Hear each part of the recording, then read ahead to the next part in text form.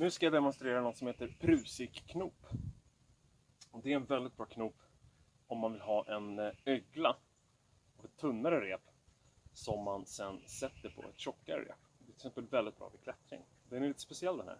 Den är inte speciellt svår att göra. Men du behöver ett rep som är i en ögla. Det kan vara hur stor som helst, men nu gjorde jag så här. Eh, lägg öglan bakom. Sen tar du den andra änden av öglan och går igenom där. Så. Gör det två gånger. Och sen så snyggar du till den här lite. Så att den blir lite så här. Den ska vara ganska tight. Det häftiga med den här knoppen, när den hänger löst, då kan man flytta den jättelätt.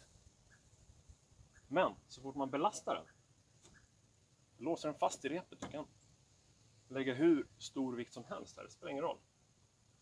Nu släppte jag, då går det att flytta på den jättelätt. Men så fort du belastar den så nyper den fast. Väldigt praktisk knop. Tänk dig själv om du har riktigt långa, en riktigt lång ögla här. Då skulle du kunna ha, och har till exempel två stycken. Då skulle du kunna klättra på det här sättet. Du skulle kunna ha foten i den ena och den andra foten i den andra öglan. Och så står du i en ögla, då belastas den, då står du fast. Och då skjuter du upp den andra en liten bit. Så tar du ett kliv upp. Så den är väldigt smart. Jag ska demonstrera igen hur man gjorde. Så ta öglan. Lägg bakom.